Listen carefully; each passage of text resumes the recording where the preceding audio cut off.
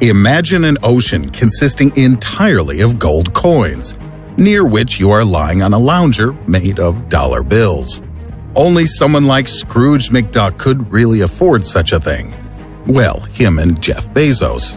In 2013, Forbes estimated the net worth of the richest dude on the planet to be about $65.4 billion.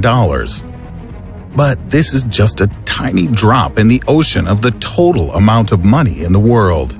As you may remember, the Disney character's bank vault was pretty big. So, what will happen if you collect all the money in the world in one place? How much space would it occupy? And what would be its mass? Let's figure it out. To turn every last cent into real physical money, we may need as much as an entire continent to hold it all. The fact is, most standard valuables such as banknotes, coins, and bank account deposits make up only a tiny part of all the money that exists. And when I say a tiny part, I mean about $5 trillion. The overwhelmingly vast majority of modern wealth is stored electronically or as securities. Let's start with our little baby currency Bitcoin. After all the recent volatility of Bitcoin's exchange rate, the total value of the digital currency has now settled at roughly $5 billion. That's nothing compared to, for example, all the silver used in the entire world, which comes in at about $14 billion. Jeff Bezos, for those of you who don't know, is the richest man on the planet. To overtake his total net worth using silver, it would be necessary to extract from the earth about 10 times more of this valuable metal. According to Forbes, Bezos now has at his disposal about $139 billion. This founder of uber successful online retailer Amazon.com can be envied somewhat for his riches, as he can buy literally anything he wants. Except for Apple Incorporated, you may have heard of them. Amazon is now the second most valuable company in the world. Both companies recently achieved a total market capitalization of over $1 trillion, though they have both fallen back a bit since then. With growth rates like this, these two giants of Silicon Valley may soon become more valuable than gold itself, in that the total value of the precious yellow metal in the world comes to slightly less than $8 trillion. We shall see. But even an amount this large, the value of all the gold in the world pales in comparison to the total value of all the shares of stock on the world market. If you join the club and become another Wolf of Wall Street and somehow manage to collect it all, you will become the proud owner of approximately $70 trillion in total capital. And if by some chance you manage to collect all of the IOUs for all of the world's debt, the amount you will get will be an incredible $199 trillion. But that's not all. There's also a financial security traded around the world known as derivatives, contracts for the future value of an underlying asset. This can be almost anything, from any product to even the state of the environment. It's impossible to calculate the total amount of derivatives at play in the world at the moment, but approximate calculations give a figure of several quadrillion dollars. Let's try to put into perspective the immense scale of such an amount of money. A quadrillion has 15 zeros after the first digits. To understand just how much space this capital would take, let's calculate its approximate mass. So, a million dollars in $100 banknotes, even though you could cram it in a large briefcase or small suitcase, would weigh about 22 pounds or 10 kilograms by itself. So don't be too quick to believe Hollywood movies where the characters run out of a bank with multi-millions loaded in bags just after robbing the joint. It's just too dang heavy to do that. To transport $4 billion, you're gonna need a 40-ton cargo container. So, our entire money supply, including banknotes, coins, and bank deposits, is about $81 trillion which would weigh more than 800,000 US tons, or 1.6 billion pounds. To transport an amount that big, you're gonna need a whole convoy of trucks, or perhaps several container ships. A hypothetical one quadrillion dollars would have a mass of 10 million tons. If you made a stack out of it, it would be tall enough to reach the moon, return back to the Earth, and then reach back up into the upper atmosphere once more. I should mention that I'm using a standard Ben Franklin $100 bill for all of my calculations. If you don't convert all this money into $100 bills, but into single dollars, then the total weight can be safely multiplied by 100. And this isn't even counting all the coins, unregistered banknotes, outdated bills, and counterfeit cash in circulation. We should be glad that our banking system is gradually moving to an electronic format. In fact, banknotes with large denominations are slowly being withdrawn from circulation. So let's assume you've managed to somehow get all the cash from all around the world and gather it in one location. Saving this money, or dealing with it in just about any way, shape, or form, is going to be a huge problem. If you throw it all into a big pile, the resulting heap of money will be about the same height as the Empire State Building.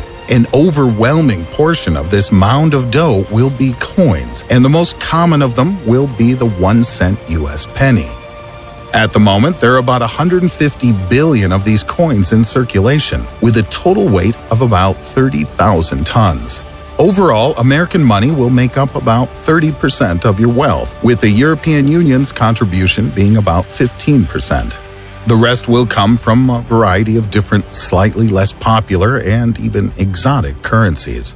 So, if you want to even try and spend all that cabbage, you're going to have to travel around the world, probably for the rest of your life. But if you still want to repeat Scrooge's entertaining diversion, I implore you to be careful. That many coins can be fatal. Don't believe me? Well, let's look at something kind of related that occurred way back 100 years ago in 1919. In Boston, Massachusetts, in the USA, a huge molasses storage tank burst. I know, you're thinking, molasses?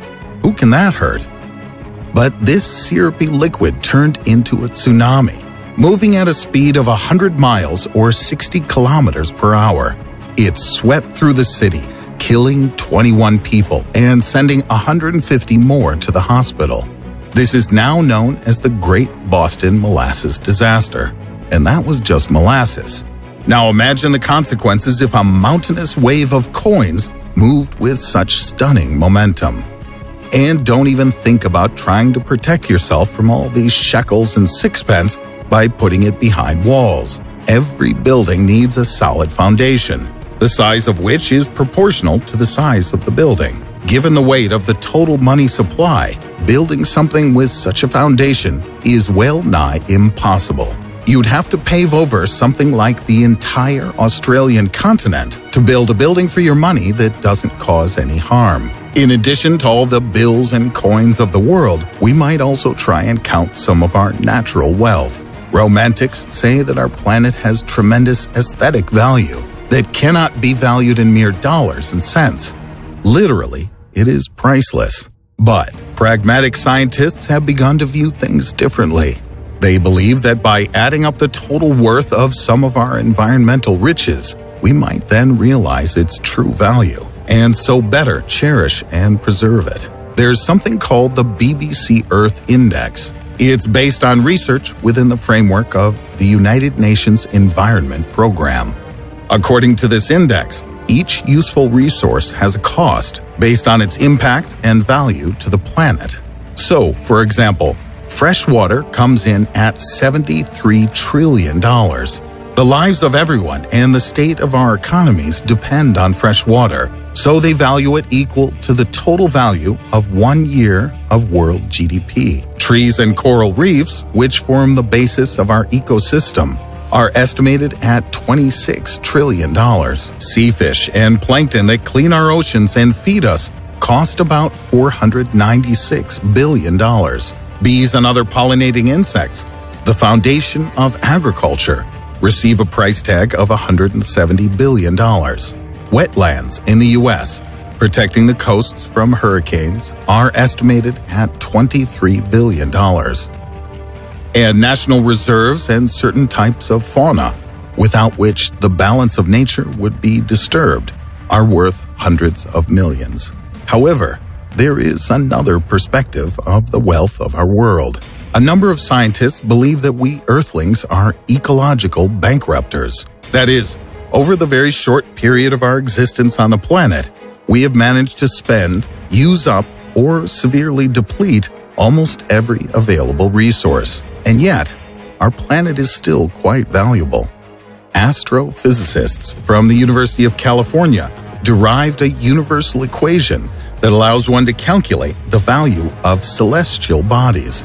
This formula takes into account the age, mass, and size of the planet, as well as its temperature and potential suitability for human colonization and habitation. It turns out that the value of our home, this planet Earth, is only 5 quadrillion dollars. But our neighboring planets are far, far cheaper. Our future colony Mars is estimated at $14,000. I'd snap it up in a second at that price. And Venus has no price tag at all due to its poor climate. All of the different exoplanets found in the last three years, which NASA says are possibly suitable for human life, are also in the discount department of the Planetary Department store. The most Earth-like of these exoplanets, Gliese 581, is worth a measly 150,000 bucks and KOI 326.01 is valued at $250,000. But yeah, when the astronauts get there, prices will surely double. But back to Earth. In order to continue to maintain its balance, the planet needs something real and tangible to offset previous losses. So NASA has come to the rescue. In 2022, the Intrepid Space Agency plans to launch a mission to explore Psyche 16, an asteroid located in the Jupiter region. Unlike most cosmic bodies, which consist of stone with an ice mantle, Psyche 16 is rich in metallic iron and nickel. Given the asteroid's width, which is about 124 miles or 200 kilometers, the researchers were able to get an estimate of its value. This space pebble quietly putting around the solar system has a value of as much as 10,000 quadrillion dollars. It's likely that billions of years ago, Psyche 16 was the core of an early planet, comparable in size to Mars. But due to frequent collisions with comets, it lost its rocky shell. American company Planetary Resources called this asteroid a gift from the heavens and are planning to send some special robots there to do some space mining retrieve some of those valuable resources and bring them back to good old Earth. On the other hand, some scientists believe that dreams of mining such space riches are in vain. The cost of launching robots may exceed all permissible limits, and in addition, even if successful, the global economy could change entirely, leaving no space for simple metallurgy. So, in the end, big riches don't always provide the endless happiness that some believe. I guess the old saying is true. Money isn't everything. If you like this video, give it a thumbs up and subscribe to our channel.